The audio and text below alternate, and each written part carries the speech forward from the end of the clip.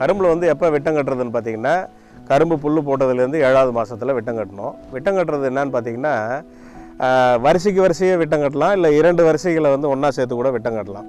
இது எப்படி பார்த்தீங்கனாலும் கரும்புடைய தோகைகளை வந்து என்ன பண்ணுறதுன்னா அந்த தோகையை உரிச்சதுக்கப்புறம் இருக்கிற பச்சை தோகைகளை வந்து சங்கிலி போல் முறுக்கி இரண்டு கரும்புகளை வந்து அந்த சங்கிலி போல் இணைக்கிறது.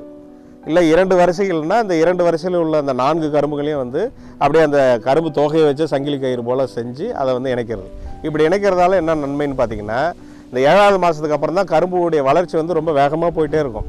அப்போ வந்து அதில் தான் வந்து கட்டுமானம் வந்து ரொம்ப உருவாகிற டைம் வந்து அதுதான். அதாவது வந்து சுக்ரோஸ் வந்து குளுக்கோஸாக மாறுறது அந்த டைம் தான். அதுதான் வந்து ரெக்கவரி அதிகப்படுத்தும்.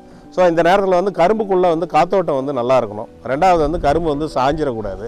கரும்பு வந்து உங்களுக்கு எவ்வளோக்கு எவ்வளோ நேராக நிலையாக வளர்ந்து போகுதோ அவ்வளோக்கு எவ்வளோ நமக்கு வந்து டன்னேஜ் வந்து அதிகமாகுதுன்னு அர்த்தம். ஆகவே இந்த விட்டம் கட்டுறது மூலியமாக நம்ம சுலபமாக வந்து இது ஒரு முக்கியமான பின்சை நிறுத்தியது இது மூலிமா வந்து நம்ம வந்து வயலுக்குள்ளே சுலபமாக போகலாம். வயலும் சுத்தமாக இருக்கும். காத்தோட்டமாகவும் இருக்கும். கரும்பும் சாயாது.